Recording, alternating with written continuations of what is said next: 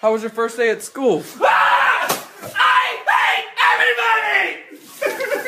Welcome back, class. I just wanted to kick off the year by passing out your homework assignment for tonight. You're gonna have a quiz tomorrow. You're gonna have I'm gone. Back to school on Monday, so my goals are A, get in shape for homecoming, or B, homeschool. All right, class. Welcome back. There's a hundred.